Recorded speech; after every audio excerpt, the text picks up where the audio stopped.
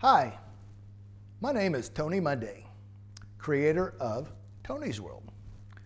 Today, what we want to talk about is we want to make sure that everybody has registered to vote. We want to make sure that on November 8th, everyone goes and casts their ballot because in this election, this is a very pivotal time for our country. So, if you hop online, it takes less than two minutes to register to vote.